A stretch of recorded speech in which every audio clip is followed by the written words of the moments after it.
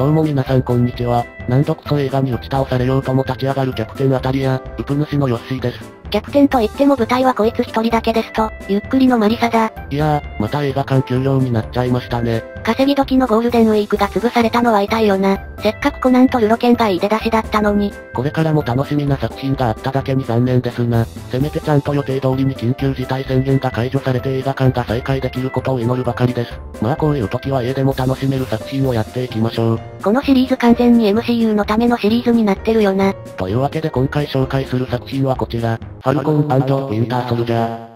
MCU の最新作だな。マーベル・シネマティック・ユニバースの人気キャラクター、ファルコンとウィンターソルジャーを主人公としたディズニープラスオリジナルドラマで、キャプテンアメリカが去った後の世界を舞台にサムとバッキーの戦いを描いた作品だね。監督はウォーキングデッド、パニッシャーなどのカリスコ・グランド、主演はアンソニー・マッキーとセバスチャン・スタンだよ。ワンダビジョンに続いてフェーズ4のドラマ第2弾だな。本当はこっちが第1弾の予定だったんだけどね。コロナのせいで撮影が中止になっちゃって順番が変わってしまったけど、本当はこっちを最初にやりたかったんだろうなと思う作品だね。まあワンダビジョンはかなり変化球的な作品だったしな。正統派ヒーローアクションって感じのこっちを先にやった方がしっくりくるよな。それに本作は田舎町が舞台だったワンダビジョンよりはるかに MCU 世界に深く影響を与える物語でもある。今後の様々な作品に影響を与えるシリーズ全体の背骨となりそうな作品だから、これを配信限定のドラマでやるあたり MCU は本気でドラマシリーズと映画シリーズを深く繋げていくつもりなんだろうね。それはそれでまた新規参入が厳しい問題が出てきそうではあるな。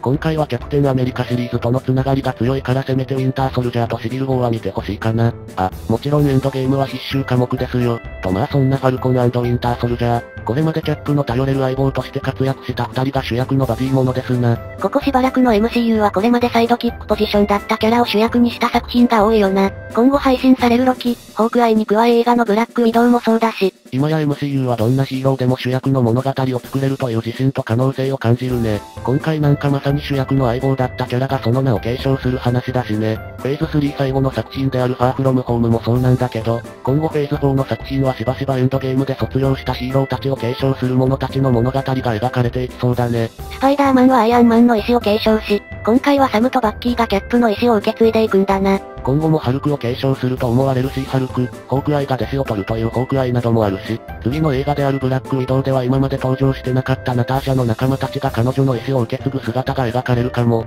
そういえばその4作目も全員が女性伴奏になるって言われてたな。そう考えるとアベンジャーズの初期メンバー全員に継承者がいるってことになるな。まさにフェーズ4は世代交代のフェーズだね。とはいえあのキャップの後を継ぐのはそう簡単なことではない。第1話でサムはいきなりキャップの盾を手放しちゃうんだ。まあこの盾を受け継ぐプレッシャーは半端ないだろうしな。何より本作は黒人であるサムがアメリカのシンボルである盾を受け継ぐことの意味を深く描いてる。かつて超人兵士計画の実験台にされた黒人のスーパーソルジャーであるイザヤ・ブラッドリー。彼の存在もまたサムに大きな影響を与えるキャラになってるね。スティーブと同じ超人なのにキャプテンアメリカにはなれず歴史から葬られた存在。黒人の迫害の歴史を象徴するキャラクターというわけだな。本作は黒人の物語という面も強くブラックパンサーに近いテーマを持ってるね。サムが自分の人種とスティーブから託されたものの間で葛藤しながらヒーローとしての道を見つけていくのが今回の話。それに今までは描かれなかったサムの家族との関係、彼の心情がより深く描かれてるのもドラマシリーズだからこそだね。その辺はバッキーも同じだな。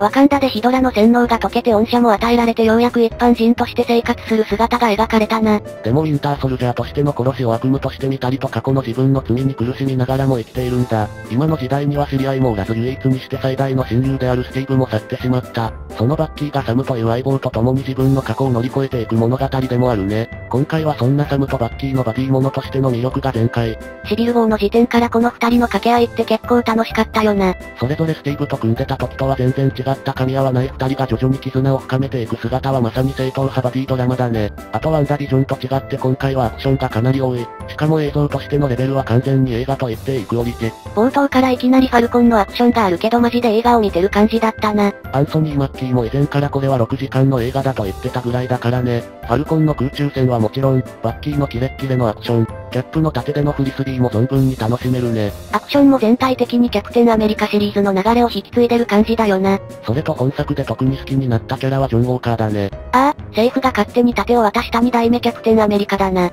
その辺はザファーストアベンジャーの時のスティーブと同じなんだよね。キャップってもともとは第二次世界大戦の戦意高揚キャラで、ジョンもある意味に多様な役割を与えられた人物なんだよね。ジョン自身はキャプテンアメリカになれたことを誇りに思ってて、人々のために戦おうとしてる正義感あふれる人物ではある。でも戦いの中で徐々に狂っていき、ついには怒りに身を任せて公衆の面前で敵を殺してしまうという失態まで犯してしまう。この場面地味にシビル号のキャップ VS アイアンマンと似た構図だったよな。スティーブもバッキーをやられ怒り狂ってトニーを殺してもおかしくない場面だったけど、アークリアクターを破壊して戦闘不能にする程度で抑えてたな。でもジョンはその盾を凶器として使ってしまった。で染まった盾はスティーブが守り続けてきたアメリカの理想が汚れてしまったことを象徴するショッキングなシーンだったね。これによって全てを失ったジョンはより深く落ちていくのかと思ってたんだけど、意外にもクライマックスには敵であるカーリーヘの怒りより目の前の人々を助けることを選ぶというヒーローとしての選択を見せた。サムとバッキーに盾を取り返され、キャップの称号も失ったのに自ら手製の盾を作ってまでキャプテンアメリカであろうとした。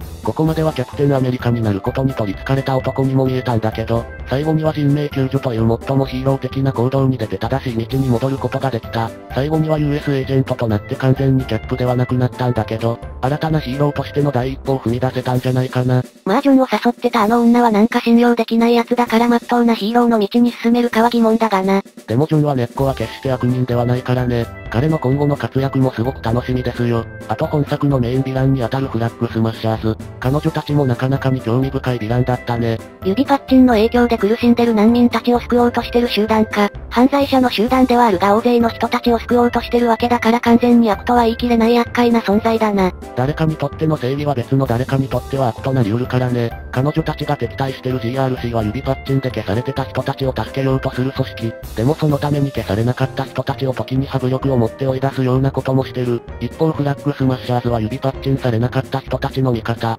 どちらにも救いたい人たちがいるから難しい問題だよな。カーリたちがやったことは確かにテロ行為と言えるけど、GRC が無理やり難民たちを退けさせるのも相手から見ればテロと同じ。だからこそカーリたちを支持し支える人たちも大勢出てきた。この両者の対立が変わらない限りフラッグスマッシャーズを止めても同じことが繰り返される。それを止めるためにサムがついに盾を背負ってキャプテンアメリカとして参戦するんだ。ついに正式にサムがキャプテンアメリカを継承した瞬間だな。これはたまらなくかっこいいんだぜ。戦いを終えた後のサムの演説は素晴らしかったね。相手を一方的にテロリストとして排除するのではなくなぜ相手がそういった行為に及んだのかをしっかり考えること。その上でお互いに歩み寄り少しでも多くの人にとってのより良い世界を築く。サムの言っていることは事態の複雑さを理解してない理想かもしれない。それでもキャプテンアメリカとして理想を目指す。様々なサムの決意が込められた演説だったね。これがもともとはコロナ禍以前に作られてた作品というのがちょっと驚きでもあるかな。サムが言っていた人類が共有してる困難ってコロナのこととも言える気がするし。